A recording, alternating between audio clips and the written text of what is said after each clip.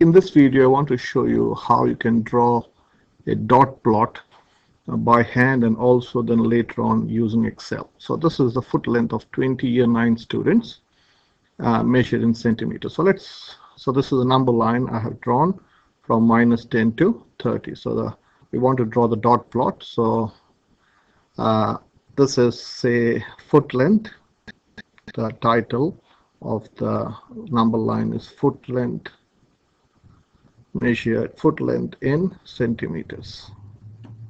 Okay, so we want to plot the dot plot. Dot plot is uh, the plot of dots. Okay, so the first student, uh, these are 20 students, is 25. So what you do is you simply plot a dot or a cross, whatever you want to do. So let's uh, plot a dot. So let me make this a bit uh, thicker okay so let's so that you can see the dots clearly. So let us use this color. Okay. Oh yeah this is good enough. So this is a dot. Okay. So uh, the first okay I need to go mm, make this. Okay. So this is a dot. Okay. So the first is 25 so you put a dot over 25 so this is 25 the next is 24 so this is 24 the next is 17 okay then you got the next 24 you put a dot over the first dot. So these are two 24s and then you got 23 uh, then you got 25 so you dot put a dot over 25 then you got 21 23 28 and uh, 24 so put a dot over 24 then you got two 25s so one two 25s 127 then you got a 13 here uh, you got a 24 so one more dot over 24 then you got three 25s so you got one two three 25s then you got a 28 and then you got a 25 so this is simple dot plot. So let me write the title here. So this is the dot plot. For any graph you need to label the axis and the title. So these are two things that you should never forget. Dot plot of foot length of foot length uh, of year 9 students of year 9 students Okay, so this is enough. So this is the dot plot of year 9 students measured in. So let me write year 9 students in centimeters. So this is how you do it by hand. So we can do the same thing using Excel. That's what I'm going to show you. So this, so let's talk about the dot plot. So the dot plot tells us many things. It tells us that this is an extreme value. 13 from just looking at this you can say this is an extreme value or an outlier. Or outlier.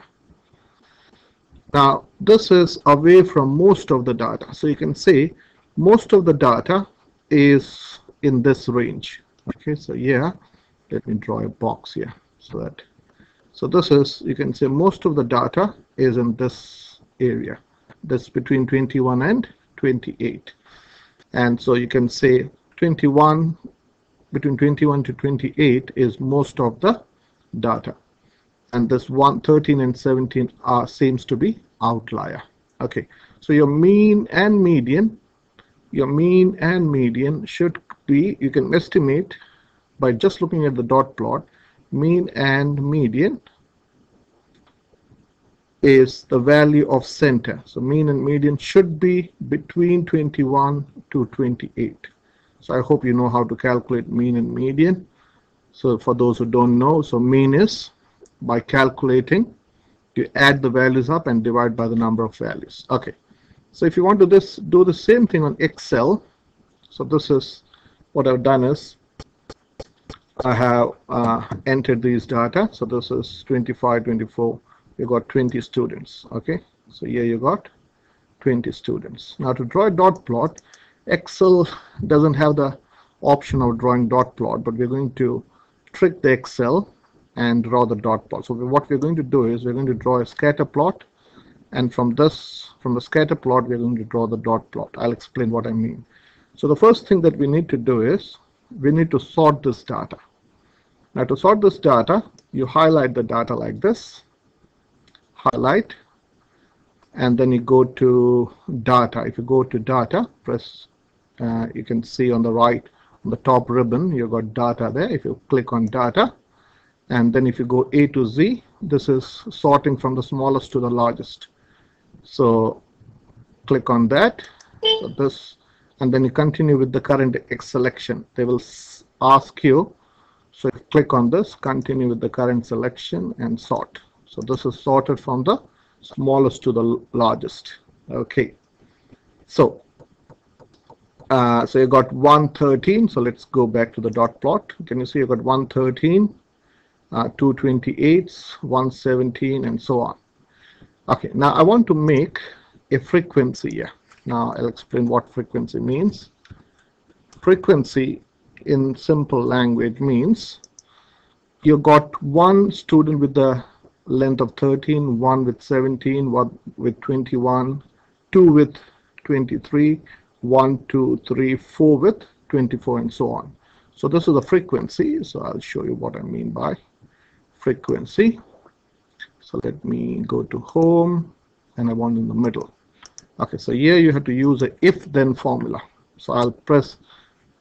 So Excel will do anything that you tell it to do, but you have to tell what it should be doing. So this is called a if then formula. So if you go press equal, then press E, type in if and bracket. Okay, I'll explain what I mean. So if bracket now this is called B3. Can you see? This when you click on this, this is B and this is 3. So this is how Excel reads. These are called cells. So if B3 is equal to B2, so this is B2. So what we are saying is if this is equal to this, that means if 13 is equal to 17, okay, sorry, I had to start with 1 here.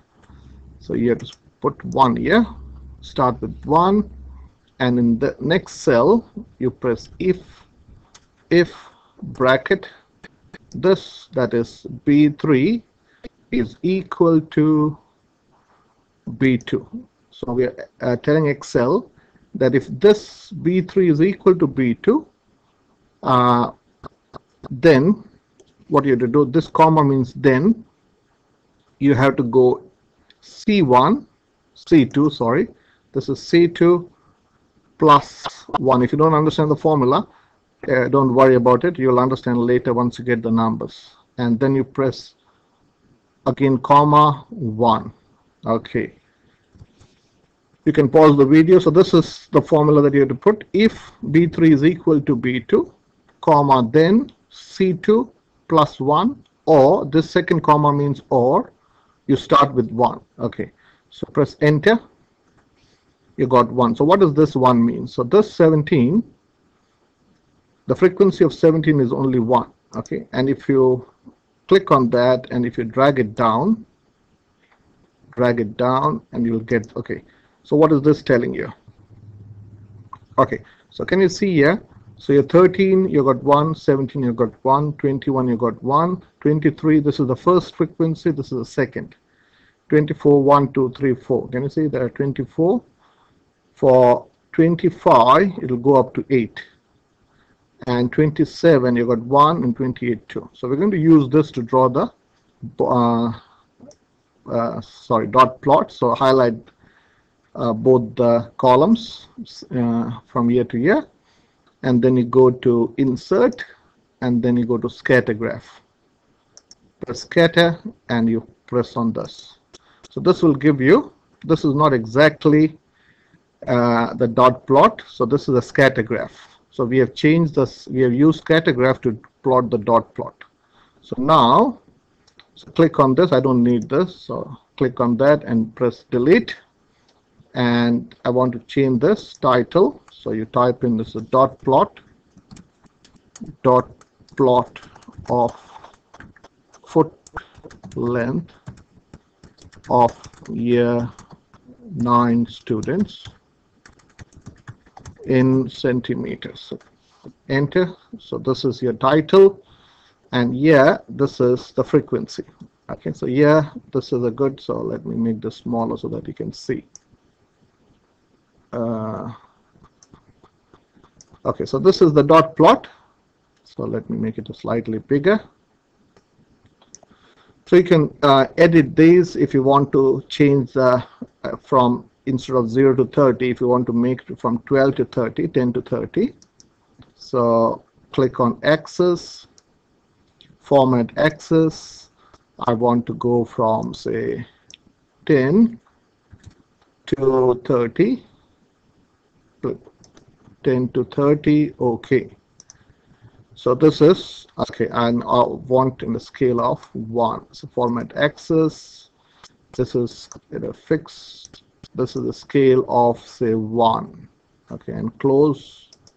So this is the dot plot. So here you can here you can see 13 you got 1 17 you got 1 12 you got 1 25 you got 8 dots. 1 2 3 4 5 6 7 8 so this is how you draw dot plot using excel